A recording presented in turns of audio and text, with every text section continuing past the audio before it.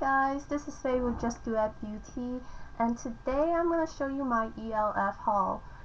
ELF stands for Eyes, Lips, Face. This is a company that sells very affordable cosmetics. A lot of them are really good and you'd be surprised at the quality because everything is so cheap, it's kind of unbelievable. Everything is a dollar, three dollars, or you can get kits and palettes for a little bit more. You can find some of these at Target, but the selection is very limited, so do check out the website. They have three lines. They have the regular line, the mineral line, and um, and the studio line. So let's get started. I'm going to show you these two face products first. They look the same, but one is an all over cover stick and one is a all over color stick. The all over cover stick is a good um, on the go product because you can use it as foundation or as um, concealer also. I do not recommend using this all over your face though because um, it's a little bit heavy. The coverage is build buildable. It's light to medium. I wouldn't um, I wouldn't recommend trying to get full coverage out of it because then there'll be so many layers. It just wouldn't look good. It'll be obvious that you're wearing um, makeup. And the next one well the second one was the spotlight. The spotlight all over color stick. It is a dupe for the NARS Albatross Multiple for about $30 less it's right here. It's just a light shimmer. So what I do with that is just on my cheeks and then blend blend blend to give it a little glow.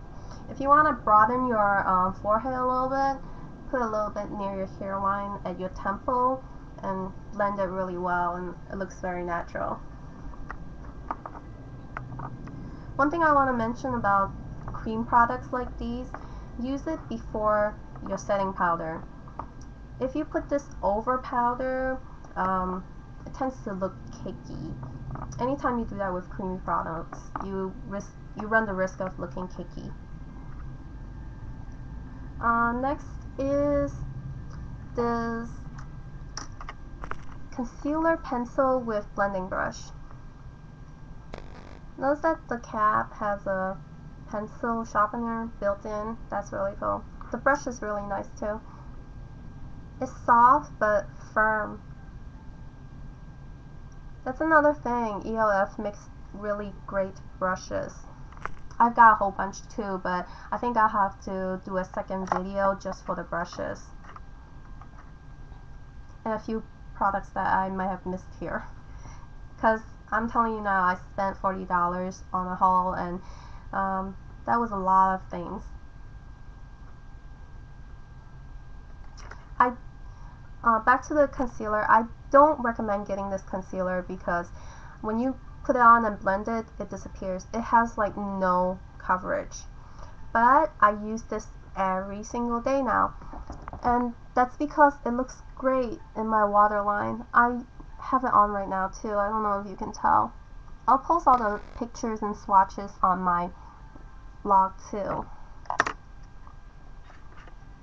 So yeah, if you're looking for the um, perfect waterline eyeliner, try that out. I know it's not white, but I think the flesh color looks so much better than the white. If somebody's wearing a white eyeliner, I can spot it a mile away because it looks a little bit artificial. And you can also see that on my hand right here. It's just, see, um, a little bit lighter than my skin color, so it works perfectly for me. But really, I think it works for everyone because that area, you know, that waterline on everyone is basically a, you know, a light flesh color like that. Next, I have this facial whip. It's the Shimmering Facial Whip. I got this in Toasted. because I think it got the best reviews on um, makeupbeauty.com, makeupalley.com. But I found that the only way I can use this is as a lid color and a little bit, you know, on the center of my lips because it's too dark for me as a blush and I don't want like a shimmering contour color. Although if you have darker skin tones, you can use this a, uh, as a highlighter or a blush also. And you can see that right here next to the concealer. It's a very pretty uh, taupey brown shimmer. Next I have this eyebrow kit. Um, but I haven't used it yet because lately I've been growing out my eyebrows so that I can do a complete reshaping of it soon. I'll let you know how that goes in a future review. But here's here it is right there. Yeah, it's just a dark brown color. There's as I was showing you there was two colors in here, right? One acts more like a primer, the lighter color. And one is more of a powder, wax powder, wax powder. so that way um, your brows will grab onto that color. But right now, like I said, I'm not using it because my brows are fairly thick. What I do use on my eyebrows every day now is this Wet Gloss Lash and Brow Mascara. Both ends are the same product, but I love it anyways, and I don't think it needs to be different. It's just the brush is different. This side, it's a little bit angled, is for the eyebrows and the other side is just like a normal basic mascara. For the mascara, I use it before I curl my eyelashes, you know. Uh, I'll put it on, let it dry a little bit, but not completely dry, and then curl my eyelashes, and it'll hold the curl almost through the entire day.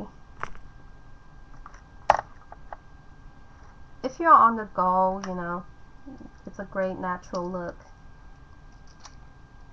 Um, next, I have the eye transformers.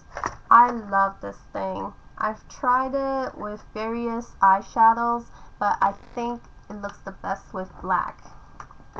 So, it's this swatch right here, the black with the four colors. And that's the four colors in the palette it looks like nothing in the palette, but once you put it over a color, it really shows. I did it with black because you can definitely see that um, one is like looks like purple and one looks green, you know, one looks golden, one looks blue.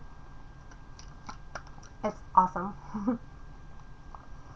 if you feel like you're lazy and you want to just do um, you know, you can just do like a quick uh, smoky eye, you know, put black all over your lid, blend it out, and then a little bit of the transformer, you know, and in the in the corner of your eye to the middle of your eye, and it looks amazing. You can also do, you know, the dark color um, all over your lid and then a little bit of the transformer where the crease is. It looks really good that way too. Next I have the mineral eyeshadows. I got them in Sweet Temptress and Glorious. It's a kit so it also came with brushes and a pencil. I hate, hate, hate the pencil.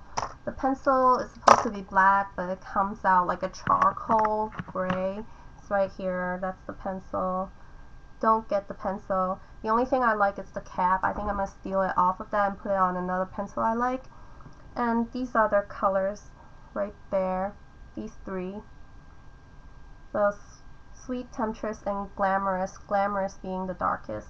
Sweet is a very shimmering pink.